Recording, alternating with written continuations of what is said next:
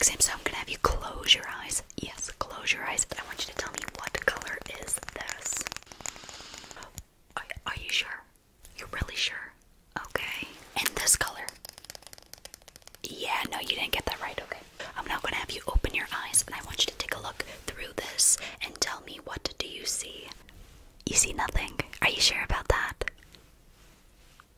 How about this one? What do you see? You see nothing.